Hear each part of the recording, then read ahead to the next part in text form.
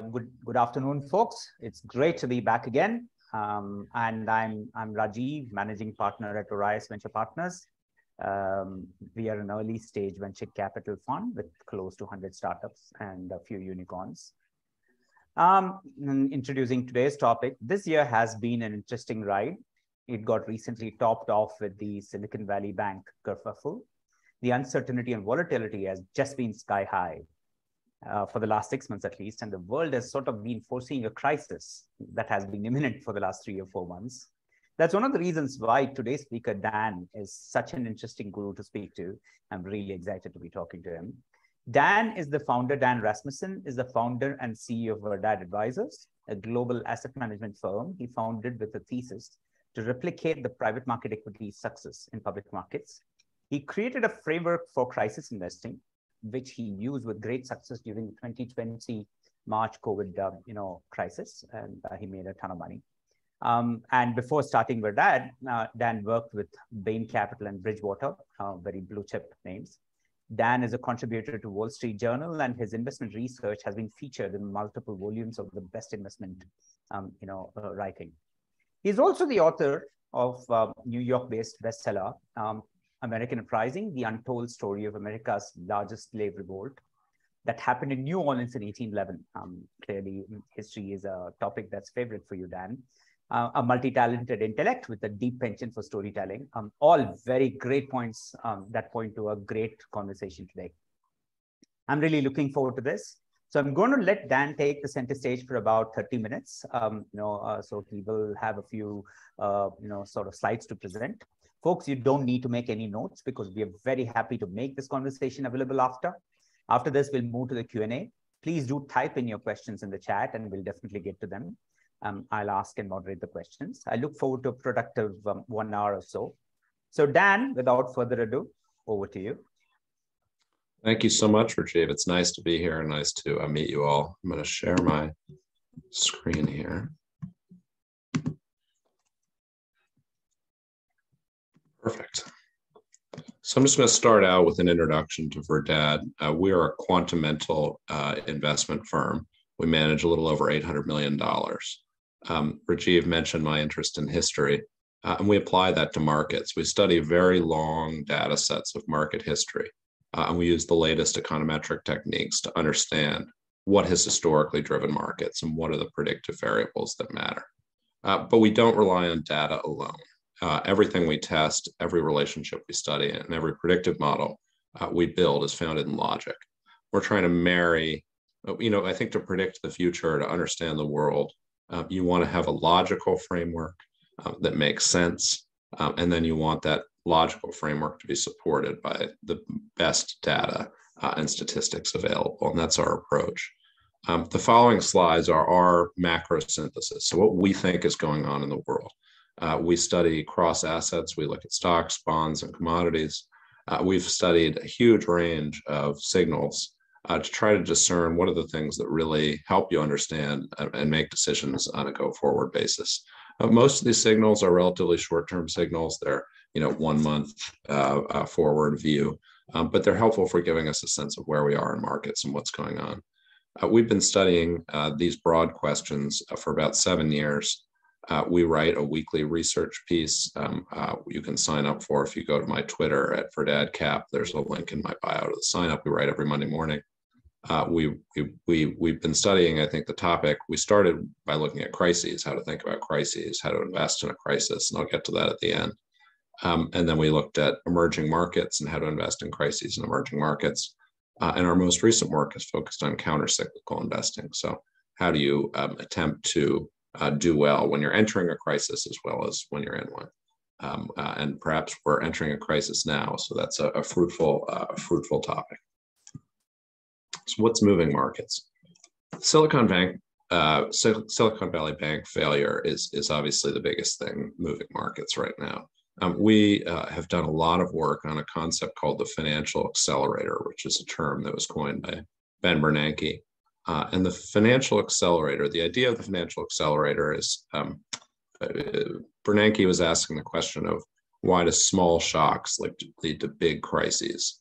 Uh, and what he found, or what he argued, is that a small shock leads to a big crisis because of the financial system. So when a shock happens, uh, lenders um, reevaluate um, their risk tolerance. And when they reevaluate their risk tolerance, they typically will raise borrowing rates or reduce their amount of lending. Uh, and when lending gets reduced economy wide, uh, it has very pernicious impacts on the economy. Um, uh, new investment slows, M&A slows, um, uh, projects that were going to get funded don't get funded. Um, and so basically this financial uh, accelerator is the process by which um, the lending system uh, slows or shuts, and thus really is what creates crises in our credit driven world. Um, we monitor, and the best way to look at or understand the financial accelerator in, in, in real time is a metric called the high yield spread. So the, the high yield spread is the best way to think about the financial accelerator. Uh, and it measures the difference in the borrowing cost between high yield borrowers and treasuries. Uh, when high yield high yield is the riskiest portion of the uh, uh of the uh, corporate bond market, right? So typically smaller companies, riskier companies. And when that spread rises, which can happen as a result of two things, one is the cost of borrowing for high yield issuers going up, and one is treasury rates going down, and both those typically happen in a crisis, uh, you can really understand how banks are thinking about pricing risk. And so Silicon Valley Bank is a really important thing because it's a bank. Um, and all the other banks are looking at that bank and making decisions based on it. And so Silicon Valley Bank failure um, sent high yield spreads on a huge upward move. Um, and that's typically a very bearish thing. And so I'm going to get into that a little bit more later. But uh, but that's by far the biggest thing going on in markets. Uh, as a result, you know, momentum is really important. We we we do cover um, and and observe uh, trends in markets, um, and those matter quite a bit. So we'll talk about how how we're seeing trends in markets, but broadly, uh, momentum has been positive for fixed income, especially treasuries, and negative for equities and commodities. The momentum we've seen in in markets has been uh, quite bearish. So it's been positive for fixed income and, and negative for equities and, and commodities. Uh, we've also seen the stock bond correlation, um, which is a really important indicator. Um, you know, most people hold some mix of stocks and bonds. And in 2022, um, we saw a huge move in stock bond correlations where stock and bonds, which we would like to be negatively correlated, um, became very positively correlated in 2022. And when stocks went down, um, uh, bonds went down. When stocks went up, bonds went up because the entire market was trading on interest rates. Uh, and what we've seen this year is that that hasn't been the case. The stock bond correlation has been dropping, uh, which is ultimately good for fixed income, but uh, uh, uh, not necessarily as good for um, commodities. and finally, we've seen continued inflationary pressures, and that's a sort of cross-cutting. Um, the broad story that we're seeing from high yield spread, momentum, and stock bond correlations is a simple one, which is you know, uh, commodities and equities down and fixed income up. Um, uh, uh, but the problem is that inflation uh, is uh, stubbornly high, uh, and inflation can really have a negative impact on fixed income. And so the positive signs that we're seeing, not, positive, but clear signals we're seeing from those other macro variables are not necessarily supportive of what we're seeing with inflation, and that remains a risk to markets, right? If the Fed um, uh, if the Fed uh, uh, is not able to contain inflation, then bonds, which are otherwise our best safe haven and the thing that's working in today's market, um, could also come under increasing pressure. And that's really why it's a very risky and, and tricky time in the market. A lot of talk of what's going to happen with the Federal Reserve. Um, and I think a lot of people trying to front run changes in the Federal Reserve. Um, we follow the high yield spread as our, our primary variable. And what we found is that uh, in previous hiking events, um, what you saw is that the high yield spread didn't peak until after the Fed stopped hiking. So, and, and when high yield spreads peak, that's bad, right? That's typically when equities are at their worst. And so I think the people who are trying to front run uh, any changes in the Fed uh, are probably missing that the worst market outcomes come after the Fed has stopped hiking, right? The Fed only stops hiking when they see continu- enough economic pain or enough reduction in inflation, but usually enough economic pain they can't do it anymore. Uh, and I think that's another reason that Silicon Valley Bank is so important um, because it's given the Fed a real insight into the negative consequences of raising rates so fast um, that some of these banks really got cut off sides.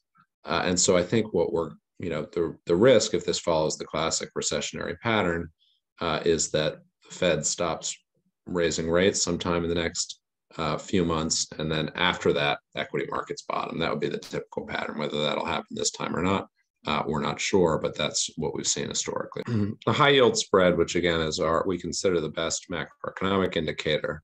Um, what you can see is that when spreads rise above about 450 basis points, uh, risk and reward in the market becomes uh, asymmetry becomes significant. Every 30% plus drawdown in the markets has occurred within six months of credit spreads crossing 450. Uh, and credit spreads were below 450 prior to Silicon Valley Bank, and they're almost at 500 today. So we're back in this um, real danger zone uh, where we need to be very worried about equity market risk. And we're going to see that come up um, again and again in the following slides. But I think the key uh, thing to consider here, right, is that the financial accelerator risk here, the risk that lending gets reduced, that credit gets cut off, um, is very significant at these levels of spread. Um, and the negative impacts that can have on equities and other uh, markets and even on GDP growth are, are quite significant. So I'm going to walk through in detail what we see in um, these uh, key indicators that we track. So we, we focus on these four key signals that we think are what really matters most to markets. Um, the most predictive is high yield spread. Um, as high yield spreads rise, that's bad for equity markets and uh, commodities. When spreads fall, it's generally good. Um, but basically saying that when lending is freely available, it's better, and when lending gets constricted, it's risky. Uh, momentum is important, so it's very good to know, you know, what's been happening recently and understand that because things do trend. Stock bond correlation I've discussed, and inflation is obviously quite important. Um, but the predictive power uh, is uh, ranked on that screen. It's the most important being being the high yield spread. So here's here's the, um, high yield spread over time. This is just the change in high yield spread, and you can see that the spread spikes at times of uh, of real risk or uncertainty. Uh, and you can see, you know, this most recent period, just this is basically so that one up dramatic upward red line is um, is Silicon Valley Bank failing, and that's a, a, one standard deviation move, which is really really significant. Um, and usually that um, drives, a, you know, a, a, flight to safety and to treasuries and people pulling money out of small cap stocks, often emerging market stocks uh, and, and commodities like oil. Right. And we can see that move has been confirmed by looking at recent momentum, right? You can see fixed income um, is, uh, you know, one, one or almost two standard deviations uh, positive in terms of momentum, right? So people really are rushing into safe haven assets as a result of Silicon Valley Bank failure. Uh, and we can see that for equities and commodities, it's been a negative, which is what you'd expect. And here you can see the stock bond correlation. And you can see that in 2022, we had this big move um, uh, where the stock bond uh, correlation was going up, which is bad, right? Because you're if you own stocks and bonds, you want the diversification benefits. And so um, uh, when stock and bond correlation goes up, it's it's really bad for fixed income um, uh, because then why do you own it, right? It's lower return and now it's correlated with equities. You're going to get out. That's what people did. And you had one of the worst years, I think the worst year for fixed income ever on record. Um, and now what you've seen is that since uh, the end of last year, a, a, really big drop in that stock bond correlation. Uh, and that means that inflation is coming down. So, in some sense, this is tracking inflation concerns. Um, and it's also very positive for fixed income, which can now uh, regain its ability to act as a safe haven asset. Finally, we, we have inflation. Um, this is trailing month over month inflation. Uh, what you can see is those huge, first of all, inflation is volatile, right? You can see these big spikes, um, big drops. Um, uh, but broadly, what the story of 2022 was, was very high inflation relative to history. Um, and that uh, rewarded um, oil and punished fixed income equities. Uh, and we're still seeing inflation relatively high. Uh, and that's a worry because I think the simple story that we've told over the previous slides of you know equities and commodities down and bonds up, um, if inflation comes back, you know that's going to hurt bonds again. Um, and so part of this is just saying, hey, gee, sort of similar to last year, um, this is a very risky environment where um, even safe havens aren't necessarily safe. Um, and that's one of the problems of inflation uh, that can really bedevil markets. So this is basically a combined view of what we're seeing in, in markets and, and where we think um, we're allocating capital based on what we're seeing. Um, the, the, the most positive is on treasuries, right? I think safe haven assets are what's working right now. Um, and if the pressure, uh, market stress from Silicon Valley Bank continues, that's going to continue to be where people put cash. Um, lar- we, large quality stocks are, are neutral. So another place that we think of as a relative safe haven is really big companies, big multinationals, uh, you know, big consumer staples companies that are uh, robust and profitable. Those are relatively safe. Um, but where we're seeing, I think, really quite negative momentum is in um, small cap stocks, uh, gold, oil. Um, and I think we didn't put emerging market stocks on here, but they tend to trade like small cap stocks. So um, it's it's a very risky time, uh, we think. So I think the, the, the key points that we'd we'd make from looking at our uh, key macro uh, dashboards would be that there's high uh, macro uncertainty.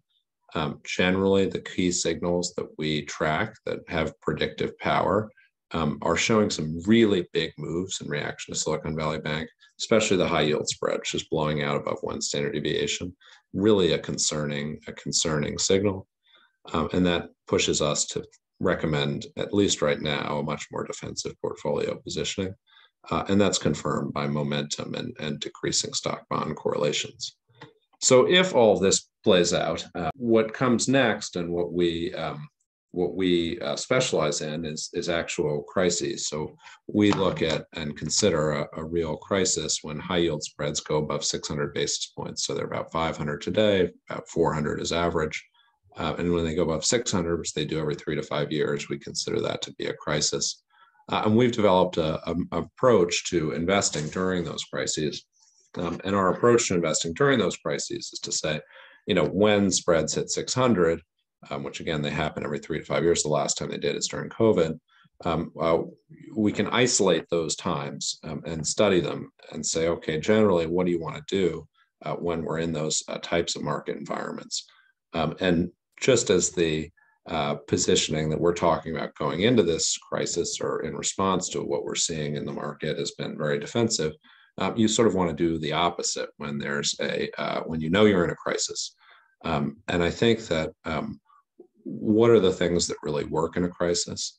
Um, when if you have the money, if you have cash, you're able to buy. Um, within stocks, um, the best things are the smallest, uh, least liquid, and cheapest things um, that are not going bankrupt. Um, and if you can build portfolios of, uh, you know, these are often considered junk stocks. They're, they're, you know, but but they're not junk, right? They're they're just small or liquid. People don't know about them. I think a lot of things in emerging markets would meet this type of criteria. Um, but again, that are not going bankrupt. They're profitable. They generate cash. Um, but you know, if you think about the middle of uh, March 2020, when everybody was panicking because of COVID, um, there's always a buyer for Microsoft, right? So Microsoft never gets that crazily dislocated.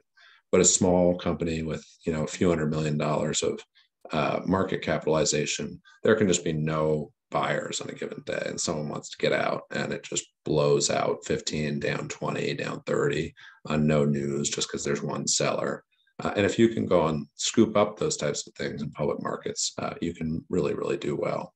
Um, the other thing that tends to work really well coming out of crises is oil. So oil is a real barometer of economic growth. It tends to crash when markets crash and it tends to recover when markets recover uh, and that's another good thing to uh, keep an eye at uh, and keep an eye on in times of crisis. So I think you know, sitting here, I'd say you know we were very worried from uh, sort of the middle of last year through the end of last year about an imminent recession. Um, all the economic data in January looked very positive, and so we said, "Gee, you know, maybe we have this temporary period where things are fine." Um, and then I think all of a sudden, uh, Silicon Valley Bank failure hit with a bang, and we saw that the Fed's rate hikes were not without consequences. That um, yes, it seems like they've been able to bring down inflation. Yes, it looks like in January maybe that economic data was holding up really well, and so perhaps we are going to have a soft landing.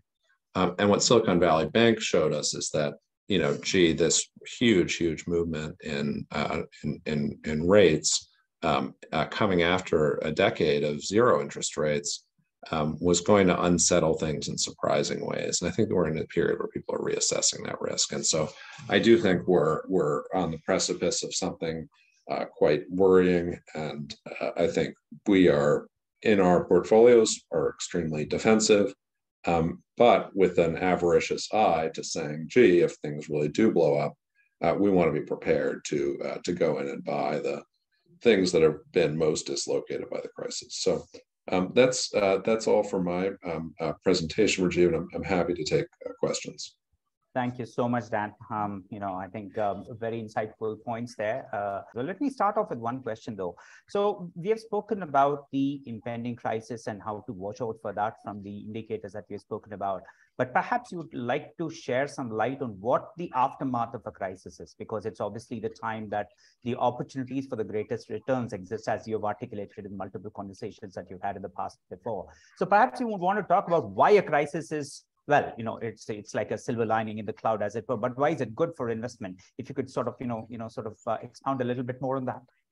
Yeah, sure. So you know, mark markets and especially equity markets um, are um, uh, much more volatile than underlying economic growth. This is uh, what Robert Shiller won the uh, Nobel Prize in Economics for discovering. And the reason that markets are much more volatile than underlying economic growth um, it, and the underlying economic realities of companies is because markets are anticipating the future, right? They're pricing a net present value of future cash flows and they're extrapolating that back to the present. And so when a big event happens, you know, people reevaluate their predictions. Um, and when crises happen, right? So um, you have a series of bad news, you have people that are very worried. And when people are very worried, they extrapolate the recent bad news basically forever into the future um, and they then discount the stocks that they own as though the current negative economic scenario were to continue forever. Um, so we're just naturally trend extrapolating. And so what you see then is that especially you know cyclical stocks, small cap stocks, industrials, consumer discretionary, things like that, um, oil, uh, energy stocks, uh, is that um, as the revenue and revenues come down five or 10, profits come down 30, and stock price goes down 60. Um, and at that point, right, these stocks are really, really cheap, but they're really cheap because people think revenues are going to go down another 10 and profits are going to go down. Uh, but what typically happens is that the global economy is resilient. And so what happens is that next year or two years from now, revenues are actually up 10, profits are up 50, uh, and the stock is up uh, 80 or 100, right? That's the sort of typical pattern. Um, and so if you are able to say, if you are, first of all, able to have cash when their crisis comes, uh, and second, you're going to say, hey, um, you know what? I'm not going to base my predictions on the market about trend extrapolating what's happened over the past year, or thinking about what just hurt markets is going to continue hurting markets forever, but instead are able to step back and say, hey, we're in a crisis. All crises look kind of the same, where there's some horrifying thing everyone's scared about, everyone sells everything. Um, I can go and buy the things that people are most pessimistic about. And when the economy recovers, which it will, um, it always does, um, I will own things that are going to rebound much more significantly mm-hmm. um, than those other safe haven assets, right? Um, so you think of like in COVID, right? Um, you, you, wanted to go and buy things that were going to have very sharp rebounds. Um, uh, rather than I think the sort of human instinct, right, is that you know April, May of 2020 to go buy shares in Zoom or beneficiaries, the things that are currently okay. Um, but where you really make money is buying the things that are the most contrarian in times of crisis. Uh, I think um, so. The, the, the viewpoint clearly is don't go to Amazon and Microsoft when um, when you're hitting a crisis. I think uh, that's an interesting, very clearly an interesting point of view. Um, you know, as, as, far as that point is concerned. Uh, a quick question about you know how do you sort of approach a crisis? So clearly, um, there are indicators that are saying that you know uh, there is something that's going to come there's a squall that's coming uh, how do you think about a portfolio approach in this see basically the moment you exit anything and you sort of sit in cash which is what uh, ought to be the logical so you keep as much cash as possible for you to invest after the crisis is over but that cash is not doing anything for you and in today's environment where we are in negative interest rate yield uh, regimes uh, with um, you know 10 years at 3.5 and inflation at 6 and 7 you know obviously cash is going to lose money for you as well so what would be the you know the approach for the portfolio? You've got a 50 million, 100 million dollar portfolio. What would you be doing before the crisis? As as you know, it's going to sort of come and hit. Do you sort of get light on some of these assets? How do you think about that? Yeah, I, I think that um, the only real answer is treasuries, um, longer term treasuries. And I think what made last year so unsettling or difficult is that high inflation just whacked treasuries so badly that everybody is saying, I don't want to put money in treasuries. I'm going to get my, you know, I'm going to get slaughtered again like last year. They're not actually safe. Um, and I think what at least we are trying to show in our slides is that the stock bond correlation is actually, you know, meaningfully come down. And so as long as inflation doesn't go up again, um, treasuries are probably the right safe haven asset at the moment. Um, uh, gold and oil are, are not necessarily a safe. I mean, oil is really going to get whacked if we enter a crisis. Gold might be okay. Um, uh, and I think stock within stocks, um, you know, the riskier edge of stocks, small cap, emerging market stocks, things like that are, are really at risk um, I think one sort of safer place to think about is your, your sort of large, safe multinationals, which again I think are uh, tend to be more uh, more resilient. Um, so I think you know, look, I think there are different types of ways to think. Right, some people just say, "Hey, I'm going to pick my asset allocation and buy and hold it forever." And if that's your approach, then don't do anything about uh, what's going on now. And I think other folks say, um, maybe that's half my portfolio or some large percentage, but but with another percentage, I want to be more tactical and I want to try to make decisions that are in response to what we're seeing. And I think for those people, I'd say, um, at least right now, um, you know, all the signs are, are very scary um, because banking issues in the banking system and the lending system are the most scary things um, because those affect everyone because we live in a credit driven world. Mm-hmm. Um, and so, if those problems persist or get worse, um, things are going to get much worse fast. Got it. Got it. Uh, one quick question on the emerging markets. So you mentioned emerging markets briefly. Uh, obviously, the high yield spread is something that works in mature markets like, um, let's say, the US or Europe, perhaps, and maybe Japan what would be the yardstick for the emerging market for you to sort of say this is the time that you know you can sort of put in your dips and sort of get into the equities as it were you know? When do you yeah. know that the, the peak of the crisis has hit when the crisis yeah. is bottomed out? Yeah. So we we we think of i mean uh, when we think of emerging markets a lot of the capital for emerging markets is coming externally right? It's coming from the united states and so a lot of United States based economic metrics actually work to predict emerging market outcomes because the dollar flow, that's where the dollar flows are coming from. Now, the, the best time to buy emerging market stocks um, is when two conditions are met. Condition one is that US markets are down a lot. Um, we'd say 20% or more, right? So US investors are suffering. Um, and where there are multiple emerging markets that are down 50% or more.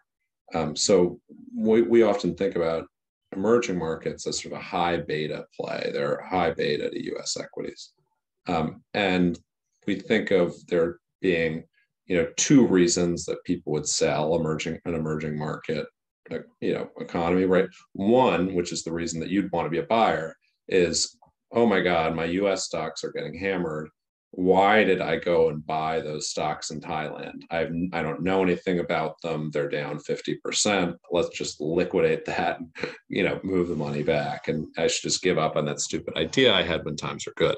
And those times, right, when the sort of stars align and everybody's just panicked about emerging markets because they're panicked about the US. And so they're selling the least liquid stuff the most, is a really good time to be a buyer of emerging market assets. Um, there's another type of scenario where um, the uh, crises are specific to the emerging markets. So, um, you know, the the president decides to suspend elections and you know fire the central bank, and the stock market's down fifty percent. That's not necessarily a good time to go buy the stock market because uh, you know, um, whereas India or China might be, you know, relatively stable. You know, some of these smaller markets, you know, you, you have one, you know, person who overthrows the entire system, and stocks might never recover, and so your risks are just too great there. Um, but I think in um, environments potentially like what we're about to see, where U.S. markets are under pressure, and as a result, emerging markets are suffering, um, can be really, really great buying opportunities. Fabulous. Okay. Um, the the next question really has to do with um, India itself specifically. I'm going to put you on the spot here a little bit, um, Dan. Um, one of the interesting points has been that um, you know uh, India doesn't seem to have sort of um, had the kind of drawdowns that one would expect. You know, the the, the Western world went through a 20 25 percent drawdown in 2022 um, you know, uh, and uh, many emerging markets sort of fell. You know, all around us there are crises in every geography. You look at Sri Lanka, you look at Pakistan, you look at Bangladesh, um, even look at China. Right, a lot of countries are sort of not doing fabulously well. In this environment, India seems to have held up reasonably okay, right? And um, the the most recent thing that happened was the uh, Hindenburg um, uh, reveals on Adani, right? Which, if it had happened about um, 10 years ago, would have resulted in a 40, 50% crash in the entire market per se, right? So I mean, the market sort of seems to have shrugged it off. You know, these these stocks are now back to doing what they were doing pre um, the revelations, almost as it were. What do you what do you ascribe to this? What do you you know do you have a do you have a sense of what's been happening here? Yeah, I think they're you know you, you all are probably much obviously uh, better experts in this than I am, but from a you know uh, the the view of where I sit, I think there are a few dynamics that have benefited India. Uh, I think one is um, you know, sort of the conventional wisdom five years ago was that China was extremely well run and well organized, and India was messy. Um, and uh, you know whether that was corruption or fraud, you know, people were, you know, I, I think regarded investing in China as safe because they thought that the Chinese leadership was brilliant and they were going to ensure. And and India was just hard to understand and, and messy. And I think what we saw in COVID is that uh, the Chinese leadership weren't as smart as they thought they were. And in fact, you know, they did something colossally stupid with this zero COVID thing. And um, and you know, who knows if they're going to go to war with Taiwan. And so all of a sudden, that looks a lot worse. And the messiness of India actually looks a lot more resilient um, and sensible and and better run. And so I think people are reevaluating the relative um, attractiveness of different economic and political models. Um, I think the second thing is that India, I think, benefited from some of the COVID trends, right? I mean, uh, uh, people becoming more comfortable with remote work or uh, with uh, tech technology, I think, has led people to say, well, if I can have half my workforce work from home in the United States, why couldn't I have half my workforce in India? Um, and I think that's been a beneficiary for for a lot of Indian companies. Uh, as a result, Indian companies, you know, trade at relatively rich prices for emerging markets. Right, it, it's not a cheap market um, in the context of, of EM. Um, it's hard to find real value stocks. It's it's much more sort of a premium emerging market at the moment, uh, which I think has been a good thing. Uh, uh, obviously, reflects success uh, over the past few years on a relative basis. Um, and I think you know the the Adani thing. I think it's a sign that people um, uh, I think that people see um, understand the heterogeneity. There, yes, there are bad things that happen and good things that happen, but it's not like the entire country you um, uh, paint with a broad brush because there was, you know, one bad actor or potential bad actor. Got it. Couple of questions from the audience. Um, you know, Dan, one is really what is your viewpoint on the metals? I mean, uh, clearly, uh, one of the established wisdom is basically when you're going into hard times, you generally go towards the you know the the hard assets as it were. So you know whether it be metals or land or you know those kinds of things right? You know do you have a point of view or a thought process on you know you know asset allocation around uh, those uh, those ecosystems other asset classes beyond equity? Yeah i think i think gold um, gold has a place in people's portfolio. I think gold is an interesting asset.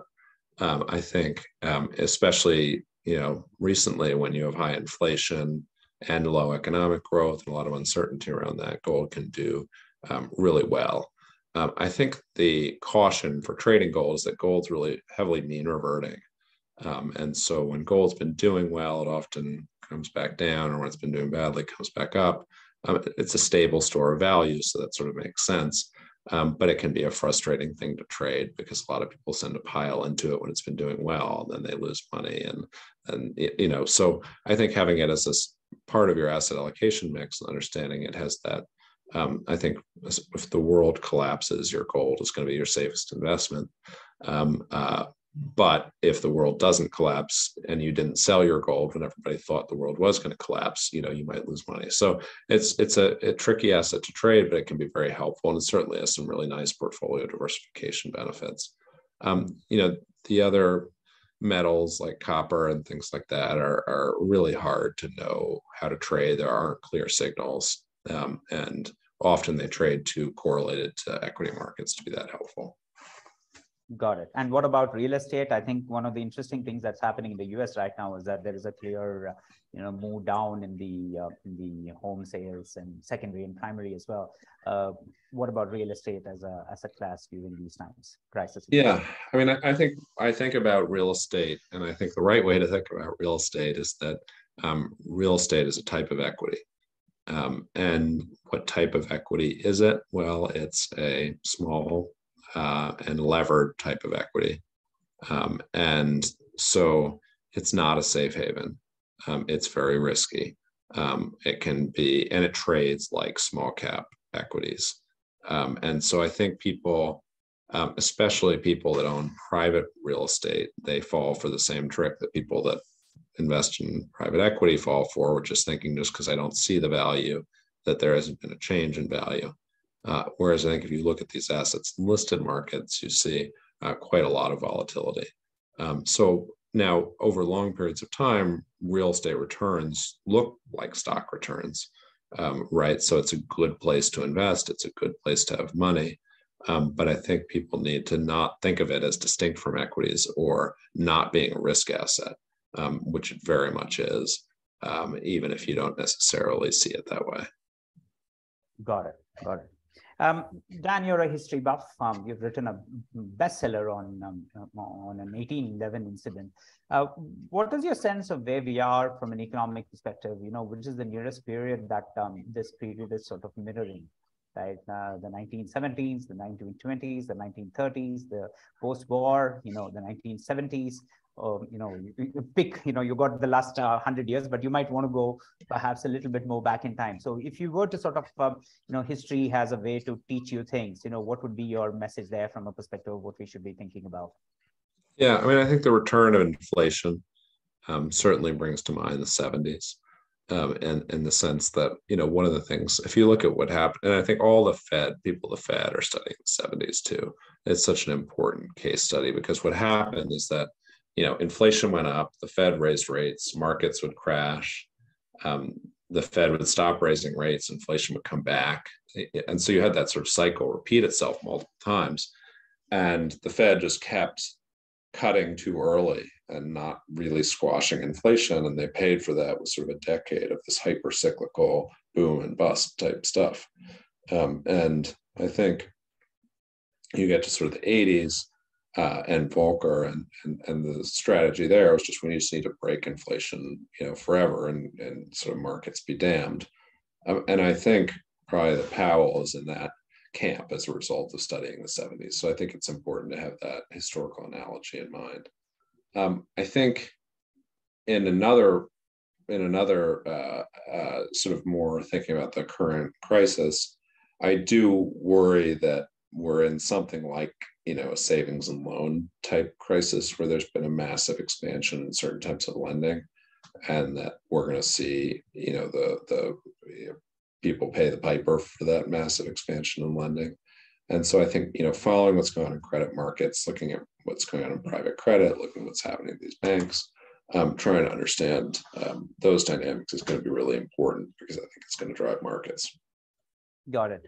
Uh, would would you think that the bullishness of the Fed is likely to hold? You know, the SVB crisis has clearly brought out uh, some kind of uh, liquidity event already, right? You know, the Fed uh, put has sort of, in some senses, been activated because they've come and backstopped a lot of the stupid decision making that uh, some of these banks might have gone through, and in um, in the process released a ton of money into the economy, which uh, which mean which needs more printing, as it were. You know, they're going to make every depositor whole again, where there are holes in the in the ecosystem per se. you know, how how is that going to work without somebody printing money, and that's going to be the Fed per se, or you know, the the bank, right? So doesn't that mean basically that this uh, cycle of tightening could potentially be at an end because you can't have both of these happening, right? That happened in the UK and uh, they lost a prime minister because of that, right? So, uh, what is what is your sense of where we are? It's a really tricky situation, right? I mean, I think that they're balancing how much pain can they inflict on markets um, with um, how much pain they can with, with their clear desire to end inflation and inflation is still too high and i think that they're going to make the judgment that um, more pain is okay um, uh, I, I fear that that's going to be the solution and that they won't stop rate again they won't stop raising until things get really bad um, and i think you know, you look at some of the metrics that they might look at and say, you know, how's Bitcoin doing or something like that. And as long as things like that are doing okay, I think they might say there's too much speculative money in the economy. Um, uh, and uh, look at unemployment, right? Employment is all time lows, and that's obviously the most important thing they care about. So, um, if markets crash, and obviously unemployment will go up, but right now employment is so strong, I think it's going to empower them to continue uh, continue raising, although probably more slowly than they have been. Hmm. Just curious though, the, the bailout of both the banks, Silicon Valley and the the, the other one, Silverline, uh, isn't that sort of um, a relaxation of the hawkish attitude in some senses? I mean, if yeah, if, uh, if yeah, and I think was it's to say I'm hawkish, then um, doesn't that seem to be like sort of you know not sort of in line with the big picture per se? Yeah. No, I, I think that's right. I think what they're trying to do it's like whack-a-mole, right? It's you know big picture they need to raise rates to keep inflation down, uh, and then they just want to you know if there are negative consequences to that that pop up in certain places, they want to solve those on an idiosyncratic basis. I think that's what they're going to try to do. Um, whether it works, I don't know. Hmm. Uh, what would be your ideal portfolio right now, Dan? Um, uh, it sounds like it's going to be, uh, you know, it's going to be lots of treasuries uh, that you should try and keep, uh, and then you know, sort of wait for the uh, the big event to unfurl, and then you sort of jump in with both your feet into the equivalent of um, high beta stocks, right? So does that seem to be the kind of thing that you would do right now? Yeah, a lot of a lot of fixed income. Um, well, I'd say a lot of fixed income, and then um, owning large safe stocks. Um, I think those feel like the right trades right now, um, and probably being de-risked or de-levered relative to where one normally would be. Uh, and if you are able to short, being short oil. Okay, all right. Um, if uh, um, the the sort of the last question here per se, um, the moral hazard of uh, what has happened in the last uh, couple of weeks or so the the world is inured right now to the possibility that um, the Fed is going to backstop uh, their risk taking, some sense of the Fed foods per se, and that has played out again this time around uh, with uh, what has happened in the last uh, you know last week or so, right? Um, are these bailouts by the governments generally uh, you know uh, you know they seem to be sort of pushing the market towards increased risk taking and hence increased possibility that something could break, right? You know whether because of inflation or something else like that. What is your point of view on that? I thought um, you know the the learning was perhaps consistent, and that's the reason why Fed uh, did a whatever you know uh, 50 uh, 50 um, x uh, growth in uh, rates over the last one year. But um, you know, it seems to me that all that learnings are not on board as yet. Would you agree? Yeah. What I, do you think about the moral hazard? I think it's there's this sort of schizophrenia in markets, right? That um, the Fed, I think, doesn't like, right? Where they, um, you know, they bail out a bank, and normally you'd say, "Gee, you know, the fact they needed to bail out a bank is terrifying. And then the NASDAQ rallies, right? Because people say it's risk on, you know, the Fed's, you know, going to ease. And I think they must be hating that. And so they're clearly creating some level of moral hazard or excessive risk taking. And it's directly against what they're trying to achieve. Um, and so I think they're really trying to wrestle with that. There's no easy answers.